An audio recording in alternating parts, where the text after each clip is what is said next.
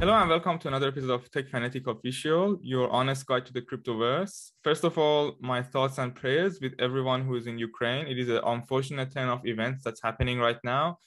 And I know a lot of projects actually based there. So I'm wishing everyone there all the best. And I hope this situation gets resolved as soon as possible. Now, I've been receiving a lot of feedback on having some projects that are not GameFi only.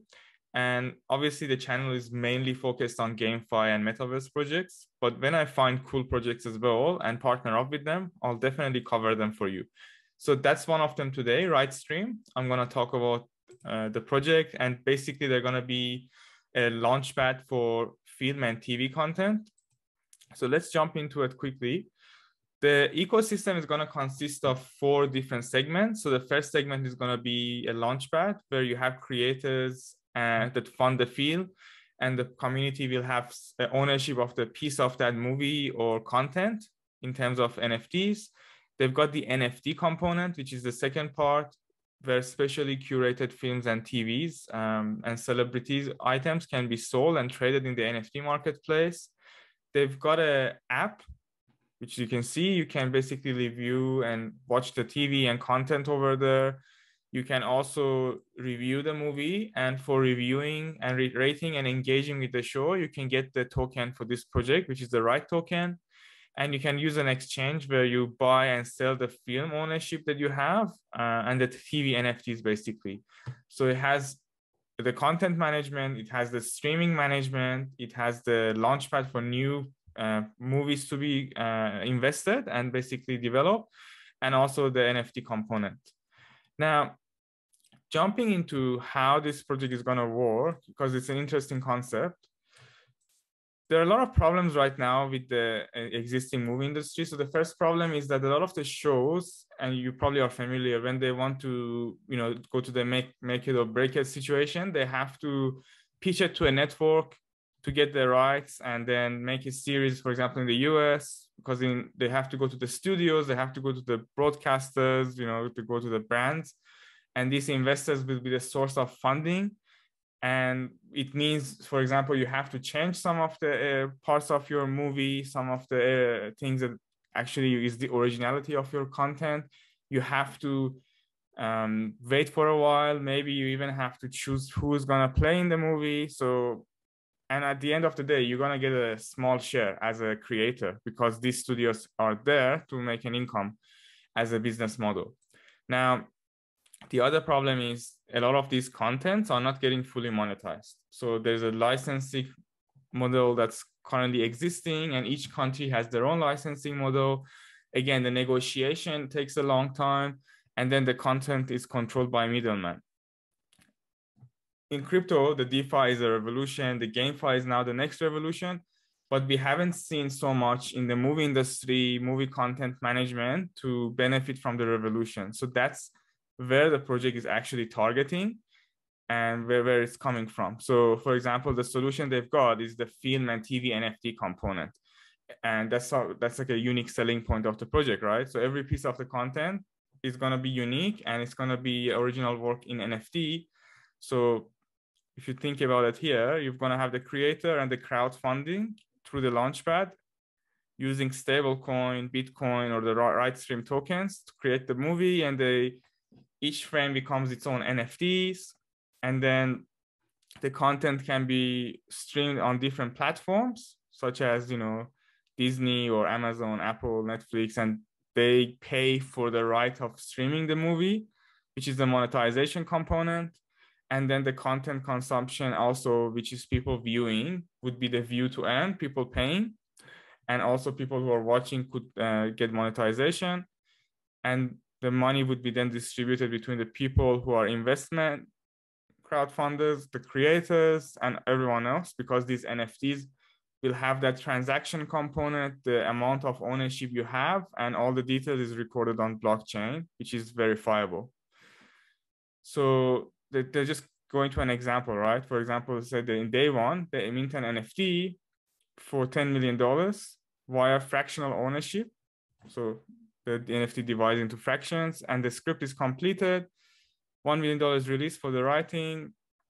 So there were $10 million for the fundraising from the uh, creators and the people invested. One million dollar went for the script writing, two million went for the production, five million went for the filming, and then two million was for the post production and marketing.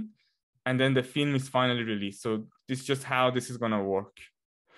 Now, Ritestream, the solution here is they have the content as a service. So they're gonna have the network of the streamers that they currently have and they're going to use the content licensing to generate as much revenue as possible for the project or for any new movie. They've got the application, and the difference is that it's not like I don't know Amazon or others that um, when you go to different countries, you have different licensing. The classic example is even Netflix. That uh, some content in the US, for example, is not shown in Australia, or some content in Japan is not shown in Australia, for example, and vice versa and some people use VPN to tackle that solution. But I've noticed even sometimes now these streaming services pick it up when you use VPN.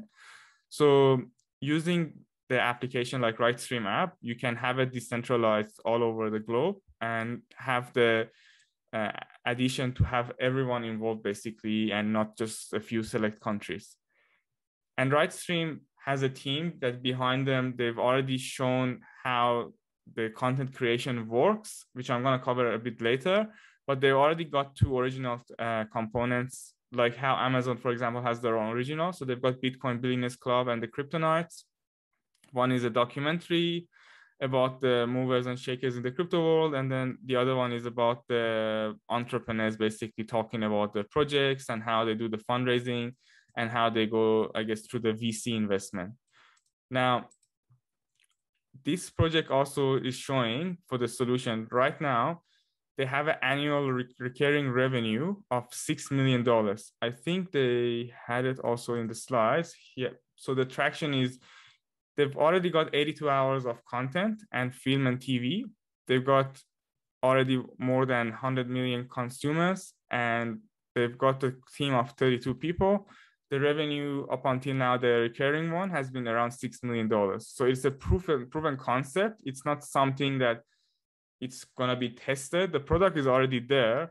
In fact, um, I'll cover it later, but there's a website called All Allrise, and they are the one that were already doing the streaming part. And Ritestream is now moving to the blockchain and bring it to the filmverse, basically the metaverse for movies. Now, with the launchpad also it helps you because for example if i want to make a movie and i don't have the funding i don't want to go to the studio i don't want to be a full-time producer and i want to do it with a few people i could basically um, get the get the investment so i can invest in a particular project or a particular film that requires the investment and own a share or piece of that so they're basically decentralizing the investment as well in different movies. It's not going to be only owned by a huge studios. Of course, they can participate as well, but this opens the door for people who are interested genuinely in a particular movie, you know, a particular artist or producer to also uh, make their own content. And also they have a share from that. So having that launchpad component that you know for other projects, this is now coming into the streaming service as well. And of course, you could have them, for example, shown in Metaverse one of the use cases is you can watch the movies on streaming on the application, but also on different metaverse. You could watch it using the you know VR devices and all that. So that's also a use case for metaverse for people who are interested on how this works. Now, I'm going to cover the roadmap, but basically the the streaming is going to be live in Q1 to 2022, so in the next few weeks. The content monetization is already live and I'm going to cover who are the partners. And the launchpad for film and TV is going to be co- covered in the next two to three months for the project. Now, I would like to also cover the roadmap for the project. I'm not sure how more zoomed in I can go, but basically, in the first quarter, they're to focus more on the mobile app. So they're to have the MVP for the closed alpha and um, the iOS compatibility and the fact that you can earn a coin for rating the contents and watching the contents with a coin. In the second quarter in 2022, they're to have the closed uh, beta, testnet, and move to Android as well. And you can also rate content not anymore just with coin, but also you can um, use a QR code. You can also have a seller wallet because you're gonna use the marketplace for buying and selling. And you can use EIP 1155 to mint content as NFT. You're gonna have the transfer transfership for owners and the custodians for the NFTs as well. And of course, the crowdfunding platform, which is the Launchpad part I just mentioned, is going to be also live for the sellers to create uh, NFTs for investment and attract the investors. So that's going to be in Q2, which is a very big component of the project. And in the Q3 of this year, they're going to have the MVP to have the open beta for using the RightCoin. You can also watch AllRites NFT as a rental. Again, as I mentioned, AllRites is an already existing company, which I'm going to cover later, part of the Ritestream, basically. They're going to be cross-chain as well for Ethereum. And in Q4, they're going to go uh, uh, in Binance as a cross-chain bridge. Sellers can sell and buy the NFTs in Q4, and then the trading component is going to happen more towards next year. So this is the roadmap they've got for the next few months and this year, basically. Now, in terms of the token utility and tokenomics, the there are a lot of utilities actually for the token, which makes me more excited because um, it's not, for example, like a game just doing a play to earn. They actually need the token to use all the utilities. So the first one is token, you use it for investments in the NFTs, which I just explained. So you need to use the right token. Of course, you can use stable coins and other components as well, but probably you get better rates if you use the right token. The first million Ritestream apps that are downloaded will have 10 tokens built in, which can be used for watching content. You can pay with the tokens to watch the content.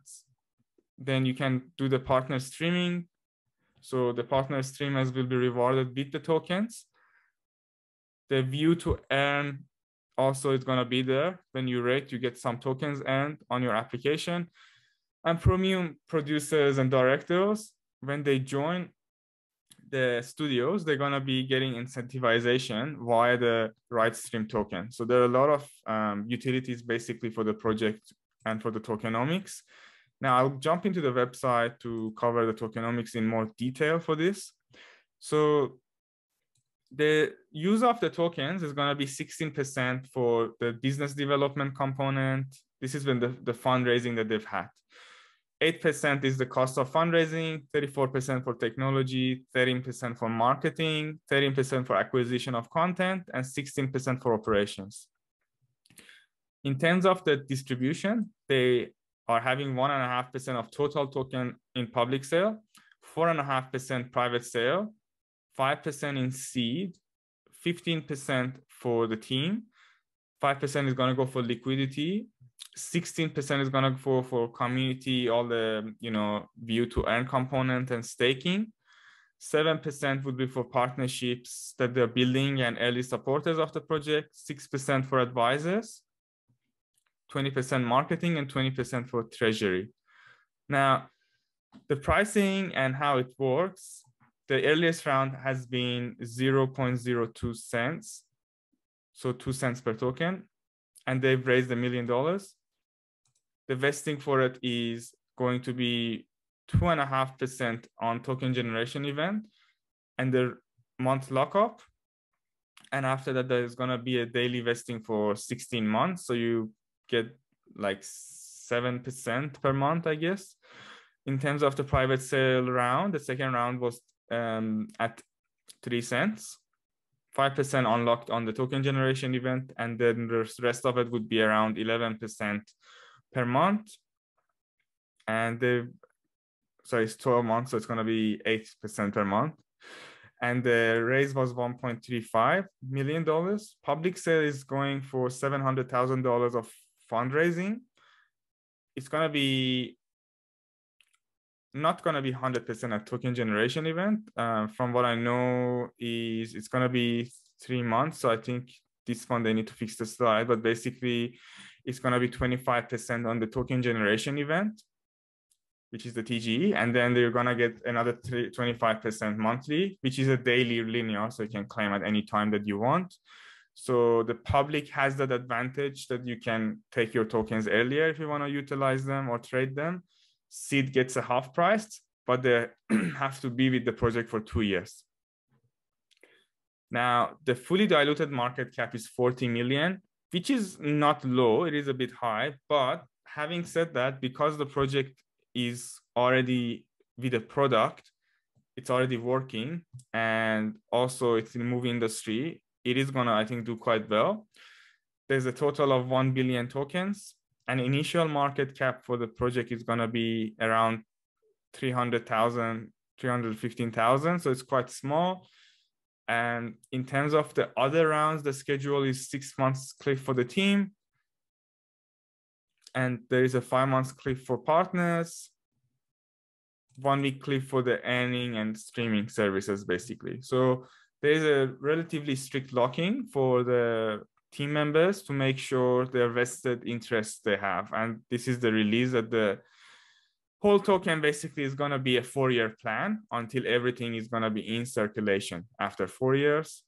And we can also have a look at what are the competitors that they have. So if you look, they've got Audius, Theta Network, and Verasity, and market caps ranging again might change because the market is changing every day, but ranging between 400 million dollars to 1.5 billion. So the smallest one is already a 10x higher than the fully diluted value of this project. So that's just showing how much capacity this can have. And this, remember, Ritestream already has a working product and proven proof of concept, basically. Now, the next part would be to have a look at the team and backers. And you can see the team and backers in the website. You can see it on the white paper. It's actually very open.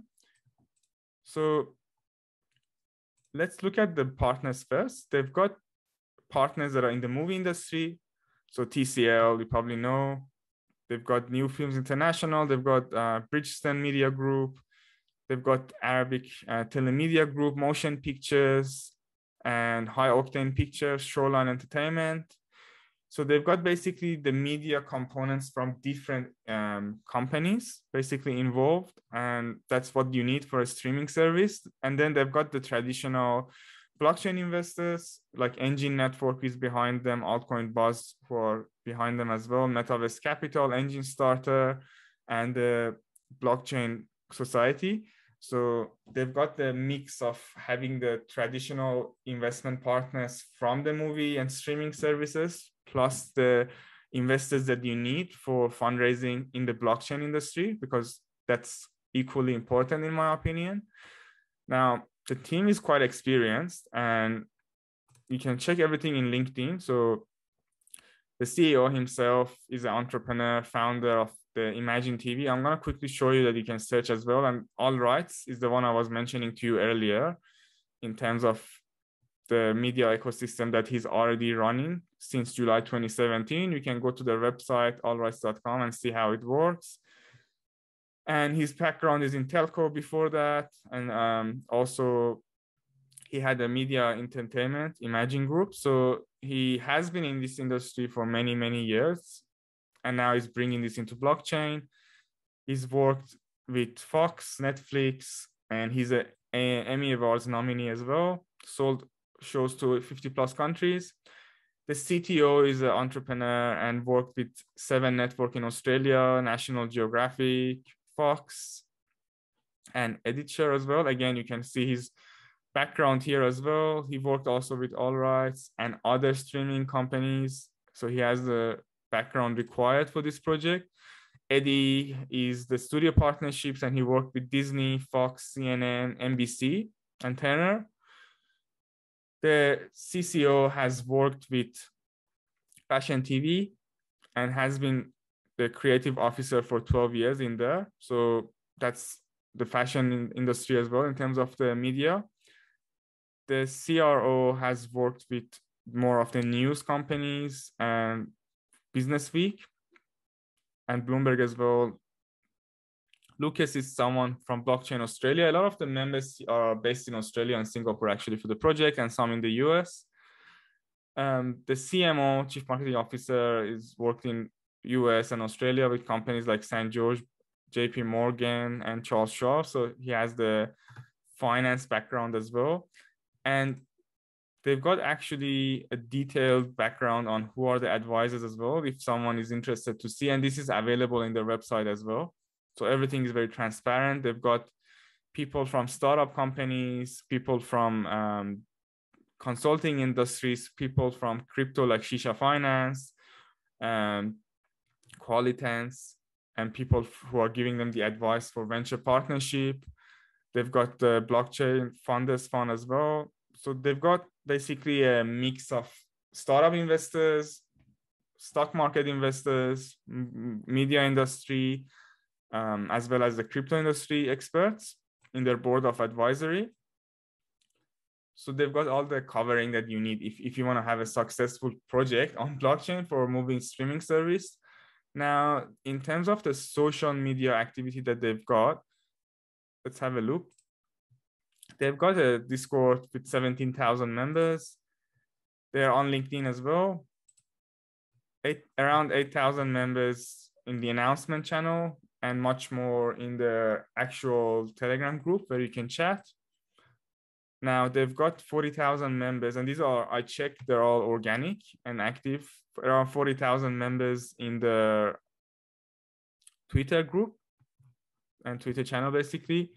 And as you can see, they're always doing AMAs or doing active giveaways because they want to have as many people joining as possible. And again, I checked to make sure it's not bot, is real. And yeah, I can confirm they are real. In terms of the launch pads, they've got three partnerships. So they've got um, Oxbull, they've got Enjinstarter, and they've got uh, VLaunch. So VLaunch was actually announced today, I think. And VLaunch, for those of you if you're interested, is a launch pad that's um, MM Crypto, More Crypto, and a few other uh, big influencers have developed it. And it's more of a community driven, influencer backed launchpad. And the model they have is basically by having the VLaunch tokens and staking the tokens, you get airdrops of the tokens for that project. And by getting those airdrops, um, you're basically basic getting free allocations. So that's usually what they've been doing, and it's really super popular. So it's a good marketing activity to do. In terms of the and launch basically, Oxbull, I don't cover them much, but they're a really good launchpad as well. And Enjinstarter is my default launchpad that I cover. So with Enjinstarter they're going to have an IDO and the dates are subject to change. I cannot guarantee as you know things change right now with the uh, problems we have in the crypto industry and also the war situation with russia and ukraine. But if we stick to this schedule the private raise is going to be on the 6th of march. This is going to be only for multiverse club. Those are staking for 999 days and the farmers which I covered in my previous video, how you can participate in that. So they're gonna raise for the exclusive club members uh, around 150k worth of um, private round. It's gonna be on the 6th of March, and on the 7th of March, you will have $200,000 worth of the IDO round for everyone who has already staked their tokens in the staking platform for Enjinstarter based on the tier you qualify for. So that's $200,000 worth of uh, Ritestream at four cents in terms of allocation. And the vesting is going to be 25% per month. And you can always register and be a part of this one, basically. So that's the coverage for the launchpad.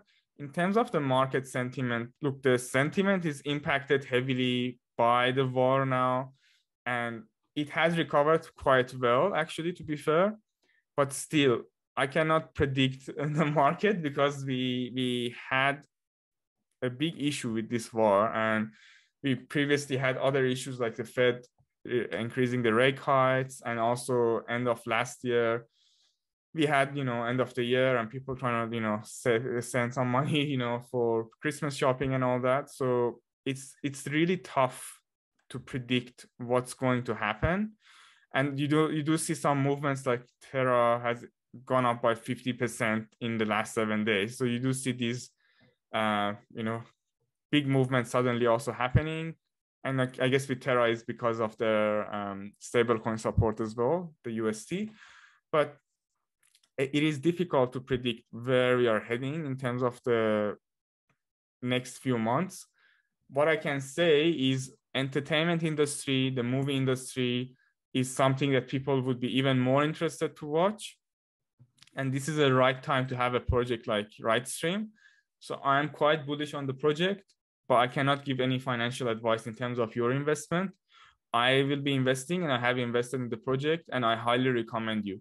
Now, if you want to participate early in the early round, I do recommend you to either use VLaunch or Oxbull or Enjinstarter as your preferred launchpad because there's plenty of time over 10 days to research the project and see if you can get involved via one of the launch pads.